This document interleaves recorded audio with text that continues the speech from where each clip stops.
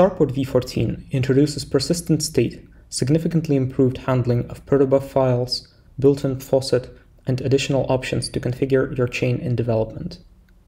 In front of me, I have a scaffolded Cosmos SDK blockchain with a single module. Let's add a custom module called blog.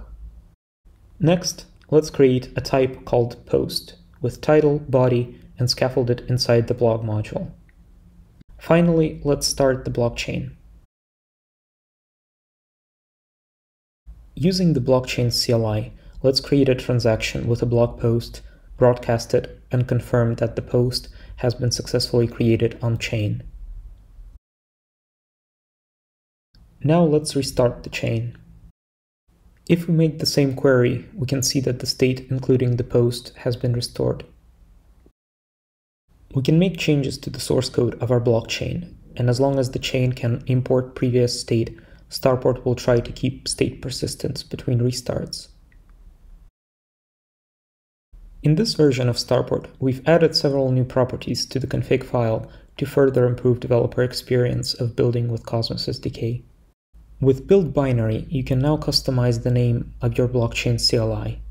Starport will immediately restart and use the new binary to initialize and start the node. With init home property, you can set the path to the data directory. Starport will restart and use the new path to initialize the chain. Starport now has a built-in faucet that can be enabled with a faucet property.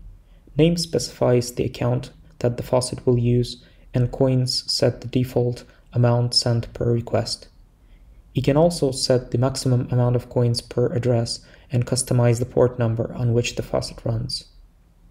You can send coins from the web UI, make HTTP requests to it directly from your front-end application, or use the Faucet CLI. We've also improved how accounts are handled during Genesis. Now you can specify an account address. A key pair will not be created on the CLI, but the account will have tokens on balance, which is very handy if you already have a wallet for this address in your browser, for example. And finally, Starport now has much better support for protocol buffer files. Common protobuf files used by the SDK are now bundled with Starport, and the scaffold includes only the ones you need for your custom modules.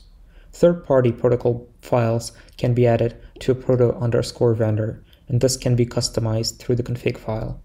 Starport will automatically detect changes in proto files, generate Go code from them, and restart the blockchain.